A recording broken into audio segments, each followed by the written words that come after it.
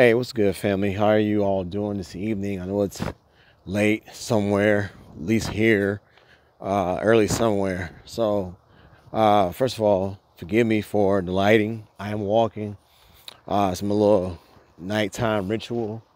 I go for a walk, man.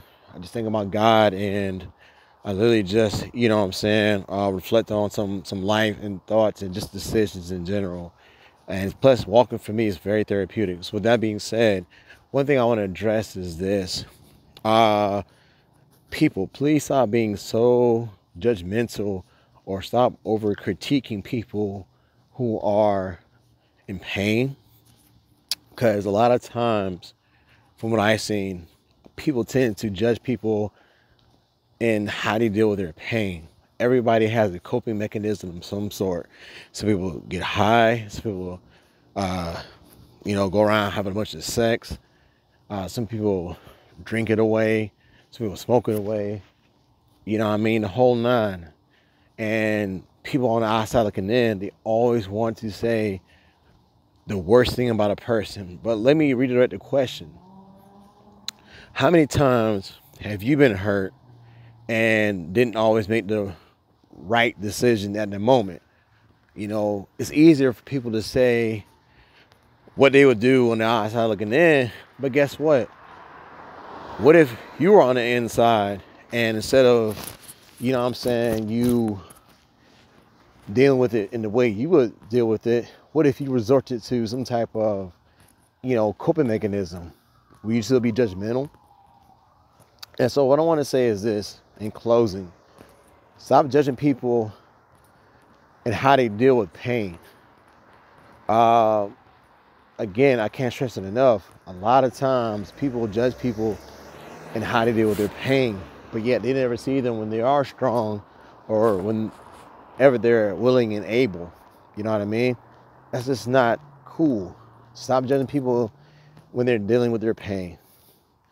Everybody has their way of dealing with stuff. You know, some people regress, some people progress. And so, what you want is to definitely progress. You want to find somebody that you could be accountable to and with. Um, at certain times, we got to process our emotions. You know what I mean? You suppress, suppress your emotions. Eventually, it's like pouring water into a cup. The cup is going to overflow or the bowl is going to overflow. You know what I mean? It's because you've allowed it to reach maximum capacity.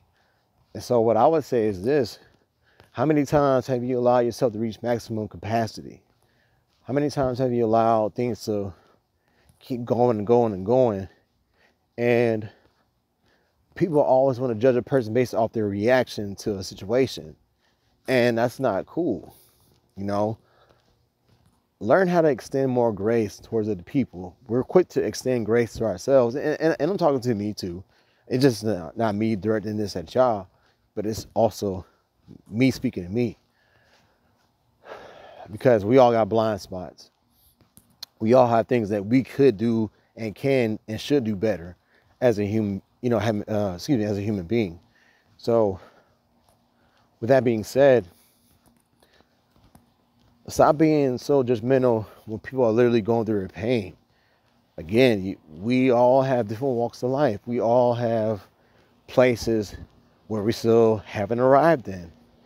So just take the second thought or two, or take a little more time thinking about okay, what caused this person to go down that route? What caused that person to literally get to that place? You see what I'm saying? And so, overall, let's just stop doing this as a society, man.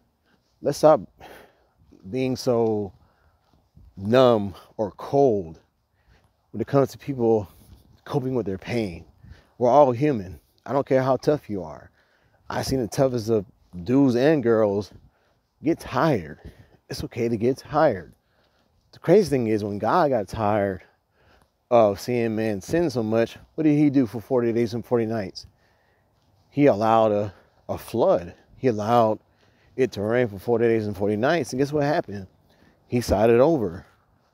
So if God can get tired of a thing, so can people. Point blank, period. So take the time out your day to actually be a shoulder to cry on, be a, a brother or be a big sister to somebody.